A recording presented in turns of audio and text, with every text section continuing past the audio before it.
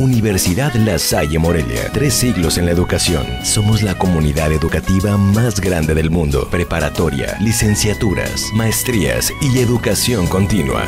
La Salle, profesionales con valor. La mañana de este martes, un matrimonio fue baleado cuando se encontraba en el interior de su domicilio, ubicado en la colonia Vistabella, al sur de la capital michoacana.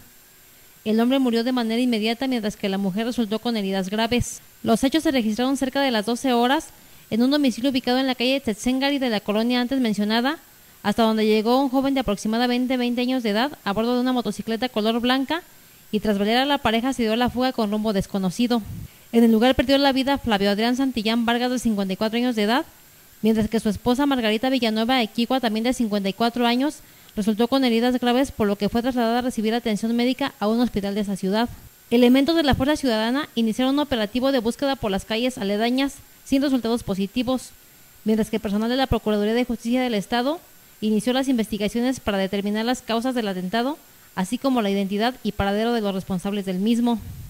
Para Cuasar TV, Sandra Sáenz.